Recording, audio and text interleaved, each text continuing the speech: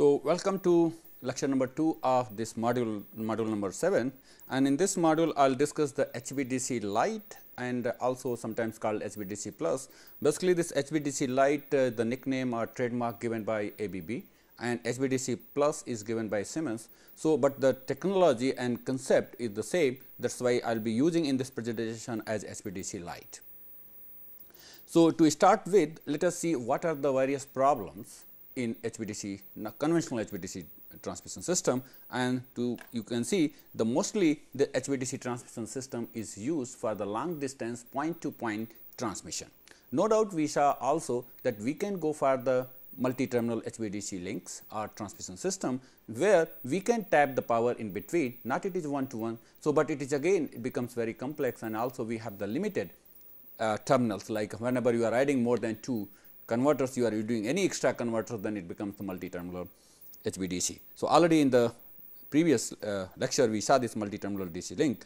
So, uh, it is said that it is mostly used for the long distance point to point transmission although some people may argue that it is not only for long distance bulk power point to point transmission, but nowadays the HVDC links are also used and they are known as the back to back connections. They are very near to each other and the purpose of this HVDC link is to control the power from one region to another region, one system to another system or can provide the asynchronous connection between the two systems, two regions as well.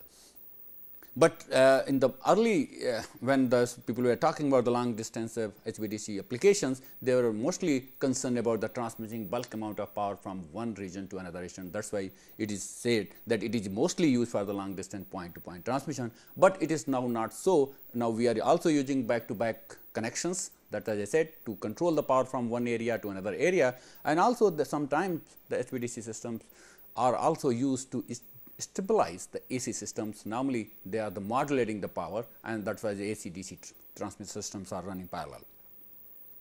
So, we know the point to point because if you are going to tap the power in between then you require some extra converter and also you have to change the control philosophy which we saw in the MTDC transmission system.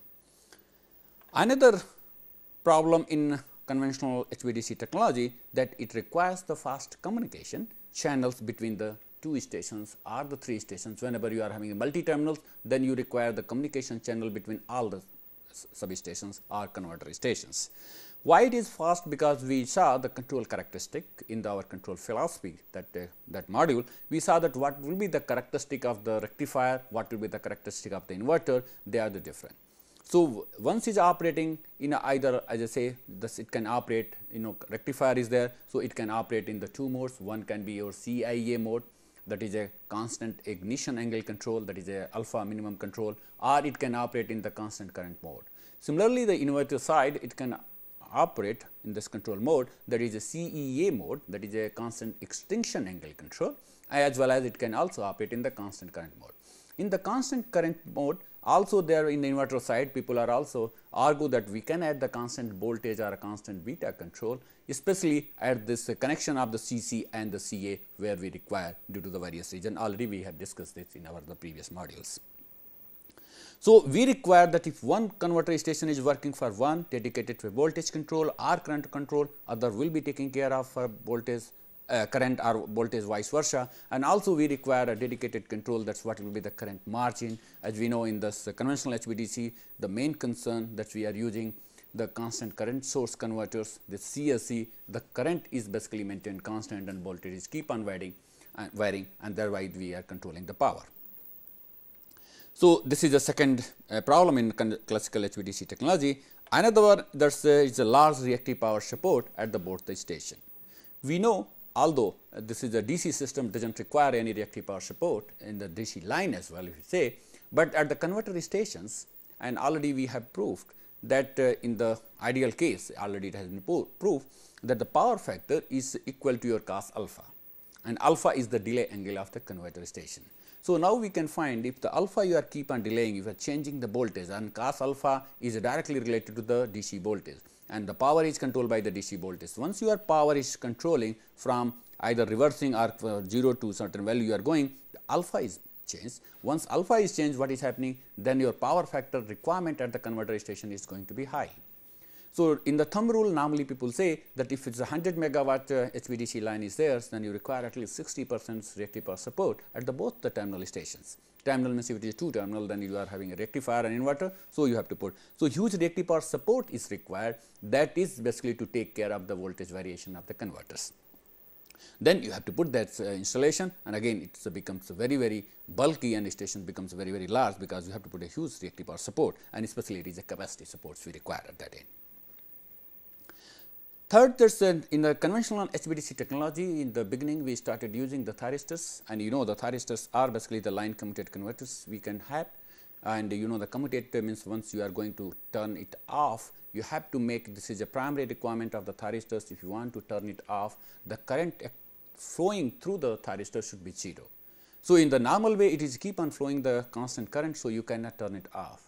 So, to make it turn off the current should be 0 and the voltage across that thyristor should be the reversed. So, to make current 0 we can use some auxiliary circuits and based on that we can make some way that we can make a 0 across this and then we can turn off the thyristor. So, the, the conventional thyristors are valves, valve means it is a series of the thyristors in the series and parallel make a certain voltage level and the current carrying capacity because one thyristor unit is not able to provide complete support for that rating of the your HVDC station. So, we can use the valves and valves means that we can use the series of the thyristors as well as the parallel to make the particular rating. So, and they are used the line commutated converters.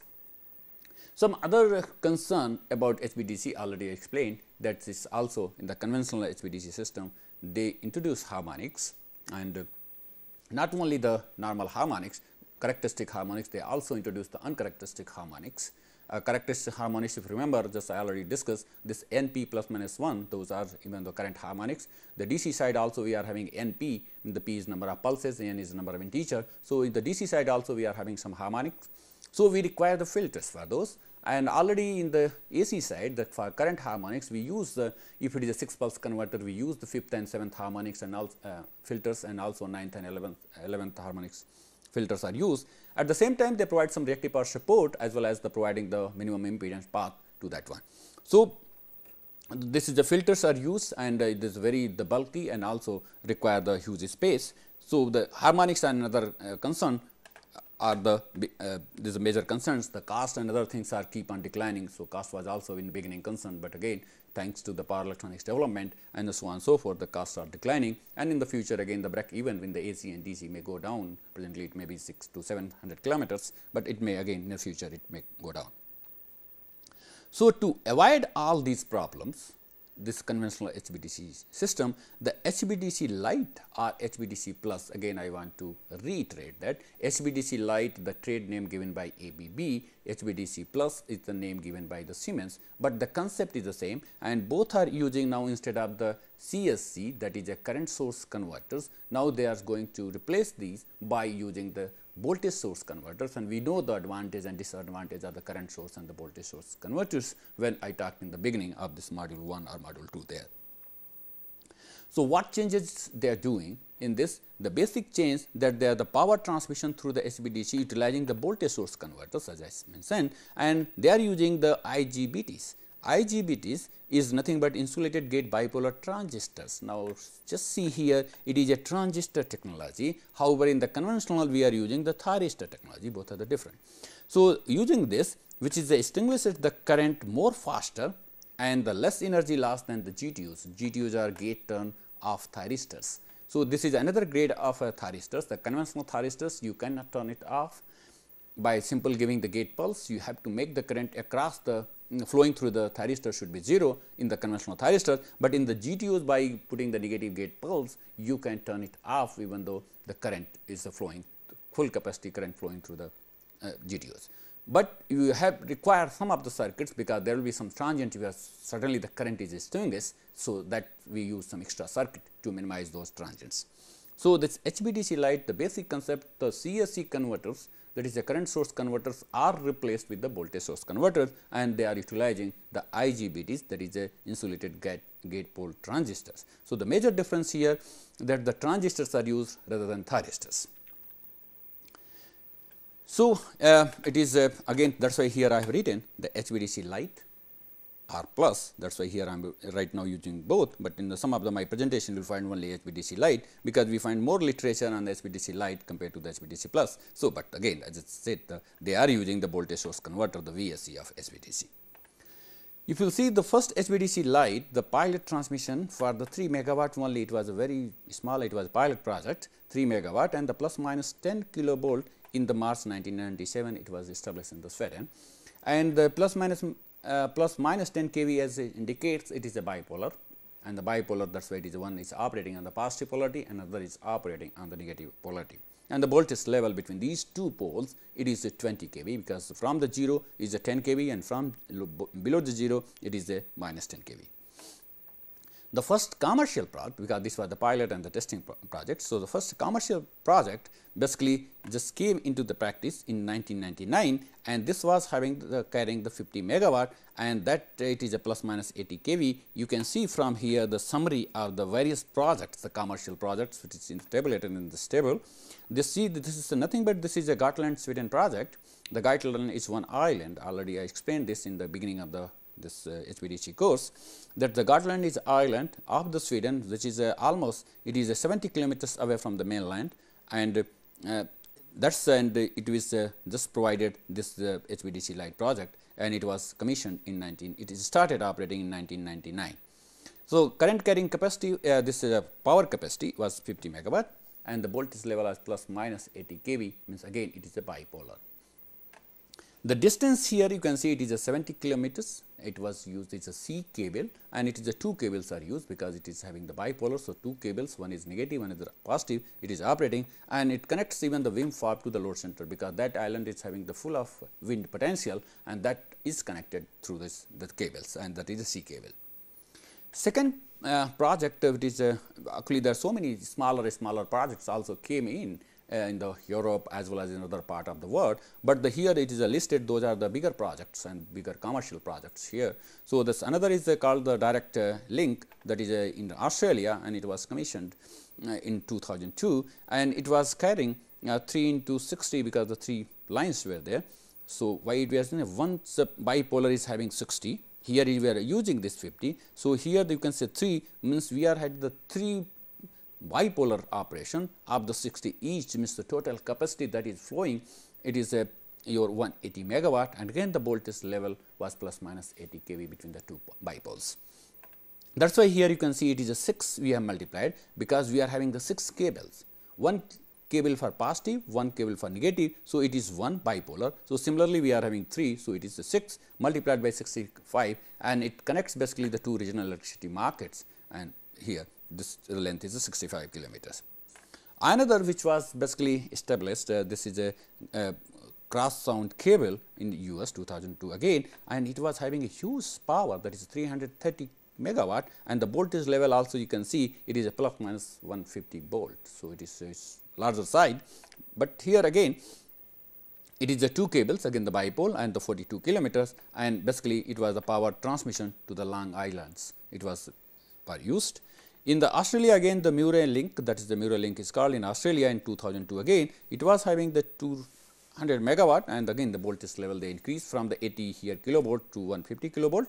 And the line length now you can see it is 180 kilometers. So, it is not possible to have a cable it is more than 100 kilometers even though earlier people were only having the cable of the 50 kilometers, but now with the different uh, you know polymers and different you know, insulating materials here and there now it is uh, said that we cannot have a cable more than 100 kilometer, uh, 100 kilometer because whatever the power you are injecting it will be the taken only the charging of this cable.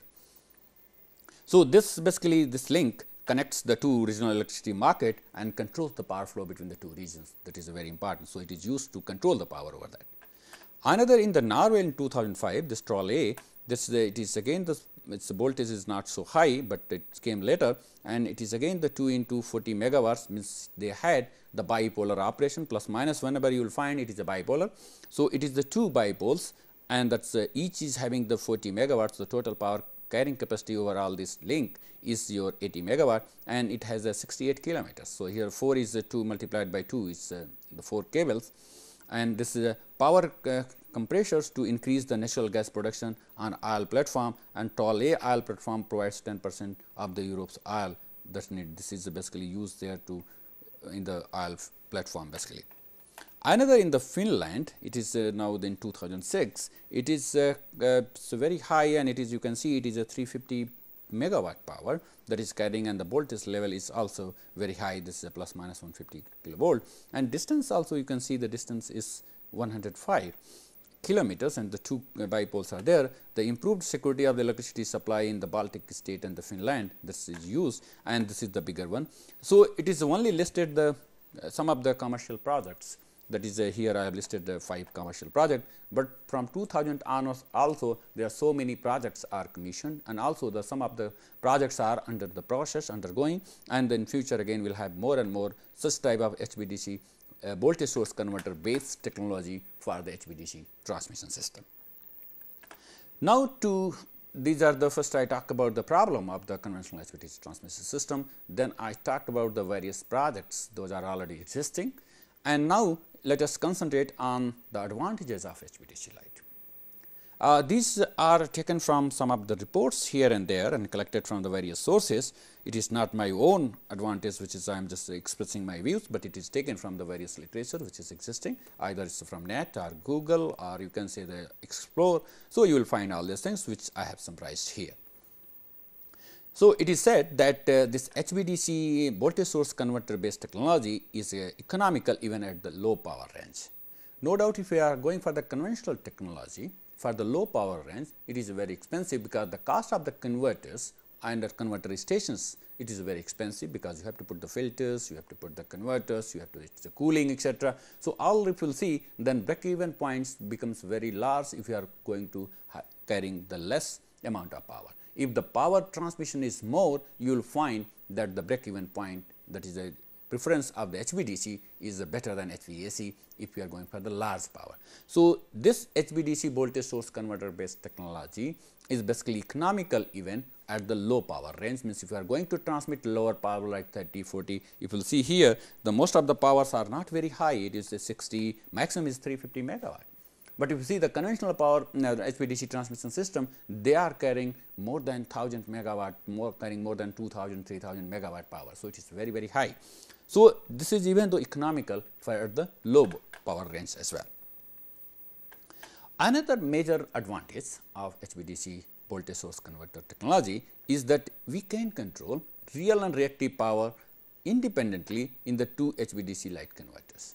So, here if you see the control philosophy that we were using in the conventional uh, HVDC transmission system, it is basically we were controlling the voltage and the current and then thereby power. One is controlling this current, another is controlling the voltage and we were maintaining. So, it was not possible to control the power uh, DC power we were controlling, the real power it was we were controlling, but we were unable to control the reactive power independently. No doubt once you are the firing is changing, your reactive power is also going to change. So, you are doing, but still it is not independent control based on the power. But here in this technology, we can control both the active that is real power and also the reactive power that is a Q power is controlled independently in the two HVDC voltage source converters and that is a great advantage. Here the power are independently means you can control the DC power, you can control the reactive power that we need and that is a that is the beauty of this HVDC voltage source converter based technology. Another uh, advantage uh, it is stated that uh, this HVDC voltage source converters can control the AC voltage rapidly compared to your conventional HVDC transmission system. The reason is that the converter which we use in the conventional HVDC transmission system, they are the line commuted and there is a lot of slowness in that one and sometimes they say it is a controls much faster even though 20 times faster than your the conventional HVDC transmission system. So, it controls the AC voltage rapidly compared to your the conventional trans, uh, conventional HVDC transmission system. Another the major advantage is that with the help of HVDC voltage source converter, we can possibly connect the passive loads. As I said, it was not possible to connect the passive load in this conventional HVDC, because we have to control the current one way in one converter another there. So, what is happening here in the passive load? I mean that you can have a one converter, you can directly connect the load and then you can utilize and you can see the power control and the reactive power, which is not possible. So, here this since we do not require the big communication channel between the two converters with this technology, we can control independently. We can control the real and reactive power independently, thereby we can also control the passive loads independently without any problem.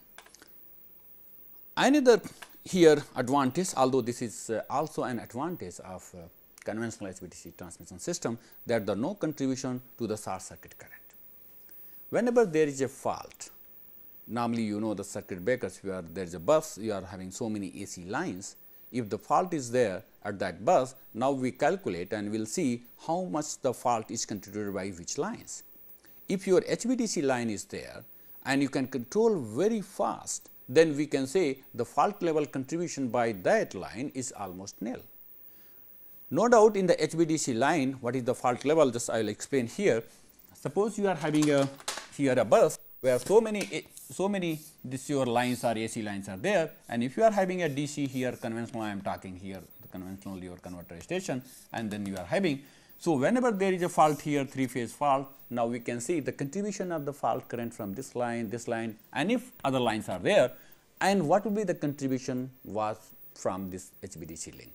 If this is a slow, so during that fault during the few cycles few milliseconds this will be also contributing the fault current. But if can control very effectively very fast, we can say the fault contribution here can we can make it 0 and sometimes we can take another way we can stabilize the system by controlling this one. So, that is why here this advantage is mentioned that there is no contribution to the short circuit current because we can control very fast. So, that line is almost we can we can assume that it is not going to contribute the fault level at that bus. So, whenever you are adding the transmission line the fault level at that bus is going to increase as you know the impedance seen up for this fault if you are adding another line here the fault will be going to increase because all these lines going to be parallel of this. So, that is why we require the designing the circuit breaker etcetera that what should be the circuit breaker rating etcetera that is used to uh, that is a found uh, that is calculated based on the fault level at that bus and contributed by the various lines. Another advantage is that the no need of the fast communication between the two converter stations. As I said, we can control these two converter stations independently even though there is only one converter station, if you are connecting a converter station with the passive load, it is only one converter station. So, here the communication between these two, suppose you are having two bilateral here, the one is a rectifier, another is inverter. So, it is a fast communication is not required between these two channels and they can work independently and that is the beauty of this HVDC voltage source converters. Another here advantage is that uh, HVDC transmission system based on the voltage source converter technology can operate in all the four coordinates of the your operation. Means if you are having here you can see this is the four coordinate and if you see our conventional uh, HVDC transmission system we had if it is your I this is your voltage we find that we can have the operation is these two here this is your rectifier mode and if you are going this side then it is inverter mode because the power voltage is reversed. So, power is you know the power is this technology P is your V into I if voltage is reversed then you are going in the inverter mode. But with the help of this we can even though operate in this coordinate at this coordinate as well having the voltage uh, uh, on the y axis and this is your current is a uh, x axis. So, we can operate this uh, because we have the full freedom to control and then we can operate in all the four coordinates that is uh, the beauty of this and whenever you want you can control here and there. So, this that is why it is said this can operate in the all four coordinates of the VI plane. Another why uh, basically why it is possible to use that we can use the pulse width modulators PWM scheme that can be used and you know the if you are using the P pulse width modulator scheme you can achieve a lot of advantage. Those were the problem in the conventional HVDC such as the harmonics and other things, we can minimize the harmonics, we can minimize the reactive power demand, we can fire in a such way using the pulse width modulated control. There are the various type of the pulse width modulated schemes are there that can be used here and based on that we can solve the various problems those were in the conventional HVDC transmission system. So, using the pulse width we can improve the power factor, we can improve the uh, harmonics injection means there will be no minimum harmonic injection in the system and also we can operate very effectively in all the 4 coordinate of VI plane. Another that's the advantage that's opportunity to transmit any amount of current of power over the long distance via cable. Here the opportunity to the transmit any amount of current of current of power over the long distance, I mean to see that it is also in HVDC that we can load the system up to its the thermal limit. Whatever the current is that's uh, is the thermal limit is there, we can go up to that limit and we can load and in this cable because the DC cables are going to be more and more popular because the AC cable you know the charging is a big concern and you cannot load even up to their thermal limit because the charging is a huge requirement. But if you can go here then you can use this HVDC light means one side you can have a converter then you can have a DC cable and then you can have AC. So, it is uh, no limitations and you can go for the longer distance and it is a very small and you can control all the way independently real and reactive power. So, this is giving opportunity to transmit the current limit not is any amount which we cannot go up to infinite amount there is some limitation means that we can go up to the thermal limit without making any problem. Another people say now question is why this HVDC uh, this ABB has uh, called it HVDC light that it is they say it is a really light in weight. What does it mean? Means it has a low complexity and why the low complexity? Because it requires the fewer components, because we do not require the filters. We require the filters of certain magnitude because we can minimize the filters by control itself. So, the we require the fewer components. So, we require the lesser size, lesser speed, uh, lesser space and that thereby we can say it is a light in the weight means it is a, if you see the conventional uh, HVDC converter station. Is very bulky, you require a big room for your converter station, then you require the cooling, they require the filters, all the things we are keep on adding. This is a very big station. But with the help of this uh, voltage source converters, we can minimize so many things. And you know the size of reactors are nothing but the size of uh, transformers. We require the smoothing reactors, we require the various filters. And if you see the inductors and other values are used. You see for the even though higher uh, at the lower order frequency fifth and seventh, you will find that reactors just like a transformers. So, uh, in nutshell here I can say thus the complexity is low and I can say thanks to fewer components those are used. Also we do not use the line commutated circuits uh, for commutation of the thyristors. We can simply just uh, turn it off and turn it on whenever we require. But however, in the conventional grade uh, HVDC technology if you are using thyristors then you require some extra circuit to turn it off the thyristors while they are conducting. Also I said they are small, small in the sense the small space is required, they are very compact and that is why it is called HVDC light. Another advantage that you know that is now the windmills or wind farms whatever you are calling. Now people are putting the, all these wind farms not only on the onshore, but they are also on the offshore and they are also putting in the sea because most of the European sea they are the shallow and most of the farms are in the sea and by the way we have to collect the power from them. So, then if you are using your AC cables now the question is which type of wind farm you are using you are using the doubly fed induction generator or you are using your uh, uh, induction simple uh, squirrel cage induction generators or you are using the permanent magnet synchronous generators all these here the technologies are existing, but here the most commonly use the doubly fed induction generators for the larger capacity. So, if you are using the induction uh, doubly fed induction generator DFIG we call it, then the power which you are putting uh, connecting to the system it is AC power. So, once you are having the AC power and then you are using the long AC cable maybe of 70, 80 or 100 kilometers, then the charging and other problems is the big concern. So, what we can use? We can use the DC cables. We can use the converter station very near to uh, in the very near to the collector of the wind farm. If you are using the conventional then it becomes very bulky as I said you require huge space and the sea putting all this thing is very very expensive. But now since uh, having the fewer components smaller compact we can put the HVDC voltage source converter near to the collector system of the wind farms or windmill and then we can have the DC cable and finally we can take it to the shore and finally we can again transmit in, in terms of uh, we can convert from DC to AC and finally, we can connect to the grid or distribution or transmission whatever the grid you want to connect. So, it is very useful for the windmills and we will see some of the application in our previous in the next lectures that I will discuss about.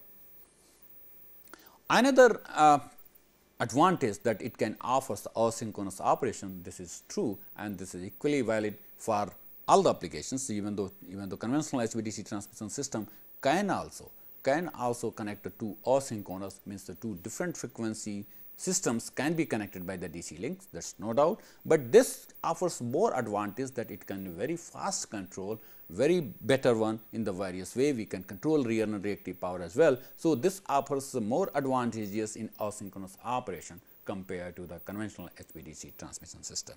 So, with this uh, advantage I can say it offers a lot of advantage and but still we can see the IGBTs based technology is still it is not so cheap compared to our conventional HVDC technology because here the IGBTs are still expensive compared to the thyristors.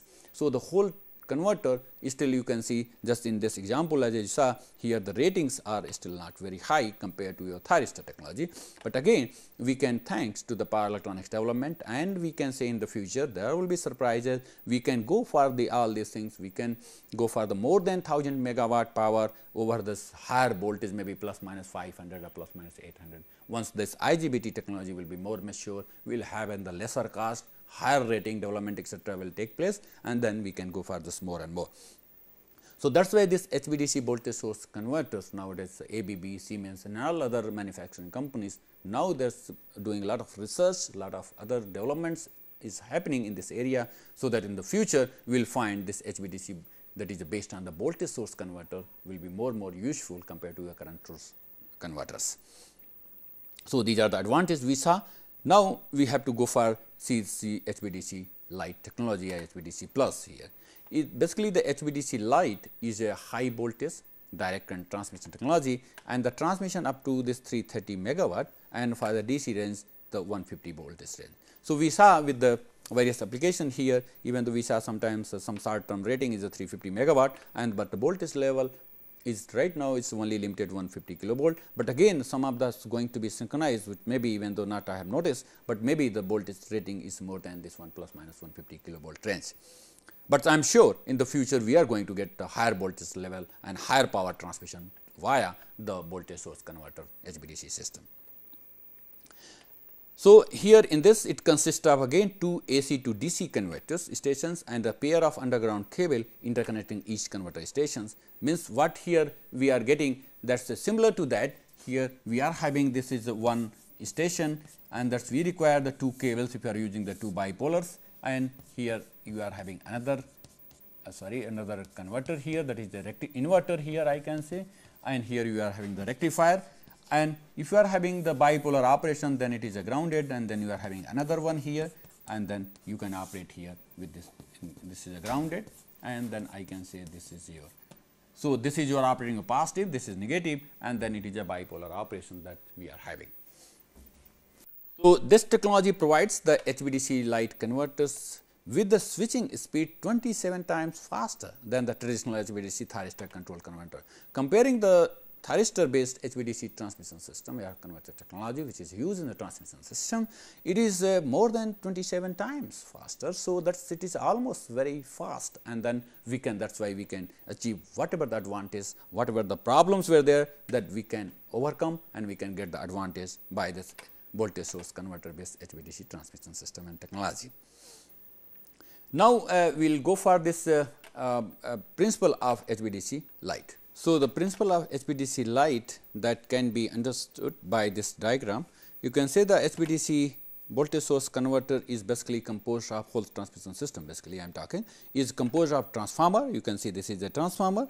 This is a converter transformer we call it that is connecting your AC system then with your converter system. We are having the filters we also need the filter. As I said in the beginning that it is not that uh, even using the here the thyristors or even IGBTs it is free from harmonics. Some harmonics are injected. So, we require some of the filters. Maybe it is again the band pass filters etcetera that we can use the some filters and filters are used. And then we require the DC capacitors. That is more important. We use the here the converters. You can say this is a converters here. We use the reactors here and we also use the capacitor. One big difference you will find from your HVDC conventional HVDC transmission system that earlier we were using this we were using the transformer we were using this filter we were using this converters. No doubt those converters were based on the thyristor based or the GTO based technology, but we were using here the reactors especially to smoothen the ripples of the DC as well as to have the constant DC current, we are using the inductors that were the series of this converter, but instead of that we are using the capacitors and that is called the DC capacitors and they are used in this way and they are basically putting here the voltage constant. So, that is why it is the voltage source converters and it is not a current source. If you are using current source, you have to use the current constant and is the ripple free and then for that you have to use the your smoothing reactors. So, the transformer is used to step down the AC voltage to satisfy the demand of commutated, uh, commutated solid state devices and self commuted they are not line commuted. So, they are self commuted and the, such as the series and the parallel combination of GTOs, IGBTs are the IGCTs now is again people are talking the insulated gate control thyristors that can be also used. Here the transformer here we are using if you are taking this is a converter you can say from AC to DC here means your AC voltage is higher and your DC voltage is lower because the again due to the limitations on the converter side the voltage is again as I say that we are going up to only plus minus 150 kilovolt.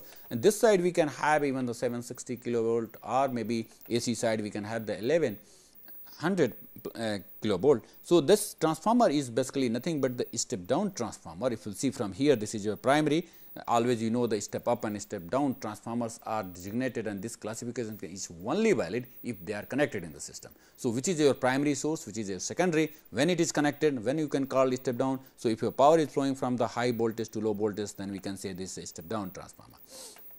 So, this is the step down transformer from high voltage AC to DC and then uh, this side the lower voltage and then we are rectifying here and the, the DC voltage is coming here. So, this is a step down.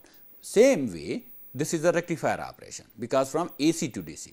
But if you are using the same here concept that the power is flowing from this side to this side. So, this because this becomes your inverter and this inverters you can say this lower voltage is DC now it is coming all the way here we are going to step up because the this side the voltage is lesser than compared to this side. So, this power is flowing from this side to this side then this transformer is just as a step up transformer and here this is used to the self commuted side the solid state device because we are having the limited the voltage rating and other things and that is why we, it is used. Now, the high frequency components caused by the switching or switches of valves are isolated from the power system by the filters, the filters are used that whenever the high because the switching is very fast and the switching harmonics those are going to enter in the system they are used by these filters basically. So, whenever the switching harmonics are there they are coming here in the AC system that must be filtered out here and that is why the filters are used. So, we can filter out the high frequency. So, we can pass the high frequency and put it to the ground and only we can pass the fundamental or the nominal frequency power in that side. So, the key part of this HVDC lights are the converter which can be realized uh, by the conversion of AC to DC by directly. So, it is always from AC to DC or DC to AC that can be utilized and it is a very fast control that is possible.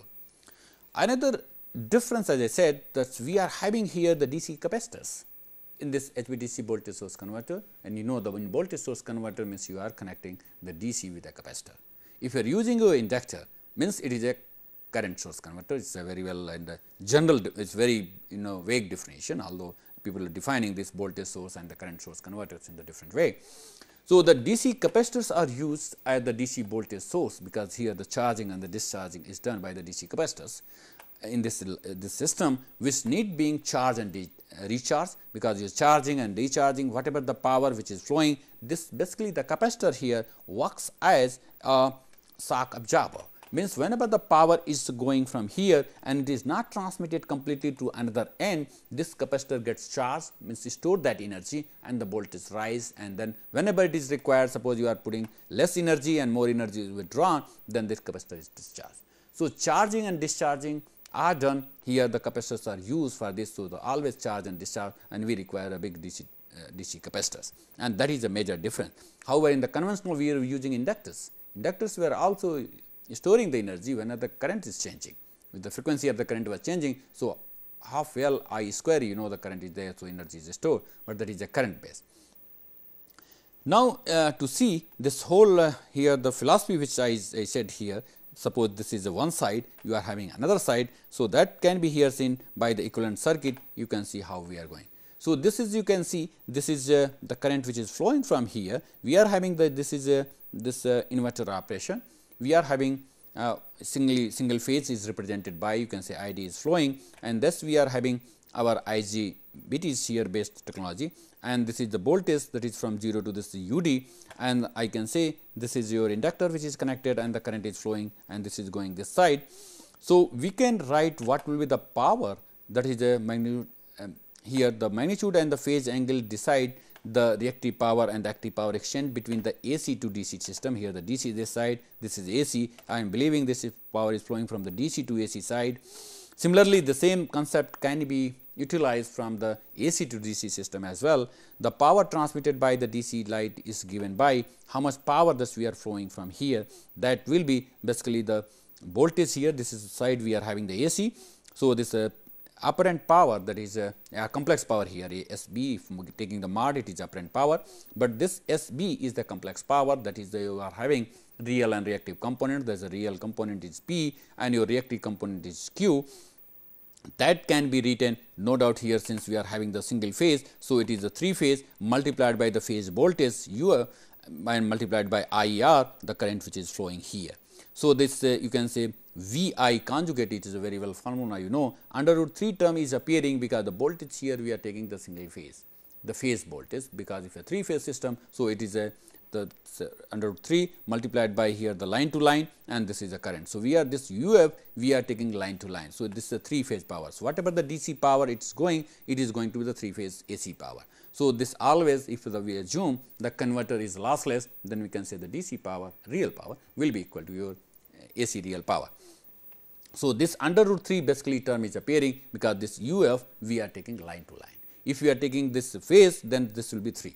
So, this under root 3 term is appearing you know it is a very uh, very basic concept of electrical engineering and this is I conjugate and that is I conjugate we can write what is I R here it is a the voltage this minus this because we have taken this direction. So, this U c minus U f and then here sorry we have left this conjugate you can make here conjugate. So, this is we are putting divided by your the Z r and Z r is nothing but this is a what is the uh, impedance between this your U c and U f.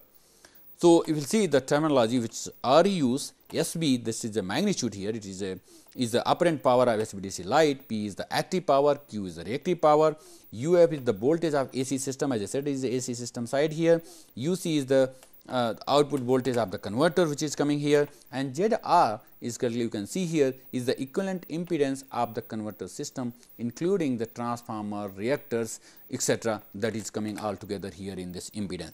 Now, you can say what is the reactors you can see this you are having reactors, you are having the all this impedance here of the transformer etc. all this together is basically clubbed in this your ZR. So, this is there and this SB we can write here. From here if you are putting this all the values if you are writing in this phasor form these values these are the uh, complex variables complex u and z everything complex here z r should be also conjugated because whole this term is the i conjugate we are writing. So, and putting all these things we can write this uh, real power that is the active power and the reactive power can be separately derived from that equation 1 that we can write the real power will be equal to your u f into u c sine delta divided by omega L and we are assuming the L is the inductance of that is appearing due to the transformer as well as the reactor. And the reactive power can be written by u f that is u f minus u c cos delta upon omega that is x we call normally omega L. So, the delta is basically phase angle between the u f and the u c the voltages and the L is the equivalent uh, reactors convert of equivalent reactance of the converter along with the transformer etc. and omega is the nominal nominal this is a speed that is radian per second. This omega is the frequency of the system that is a 2 pi f you know it very well and f is the frequency of the system.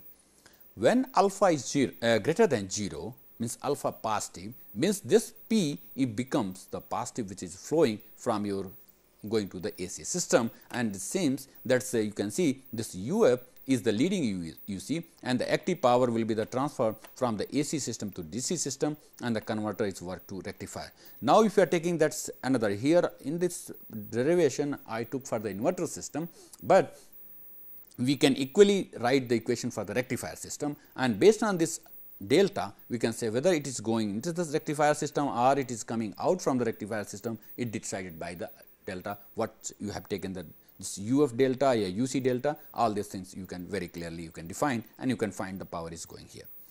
One thing you can find here this reactive power the reactive power here we are having the u f and u c and your delta. So, this reactive power that you can control as I said it is a very control variable we can independently this and this we can control because here you can control the u c and this converter will generate reactive power if this value is positive. If the UF is more than UC cos delta then this value is positive means it is generating reactive power in the rectifier side. And it is again the reverse is also true. And it will be absorbing the reactive power on the contrary if it is a reverse one is there. So, you can see this real and reactive power they can be controlled independently. We can control the delta here one side, we can control the UC and by these we can control the P and your real and reactive power independently. So, in this uh, uh, and the remaining things we will discuss in this our next lecture. Now, here I want to summarize that uh, this we in this lecture what we did we basically saw the various problems of conventional HVDC transmission system already I just discussed very in detail although the same thing was also discussed in the very first lectures uh, of the module first where we discussed the various problems compared at that time I compare your AC system and the DC system. In this one I would compare the HVDC voltage source converter and the HVDC current source converter. Current source converter based HVDC transmission system means that we call the conventional system. And whenever we are talking this uh, voltage source converter based HVDC system means is HVDC light or HVDC plus. We also saw the various components then we saw the what will be the real and reactive power, how it is uh, flowing and how it is going and that is also derived in this, this lecture.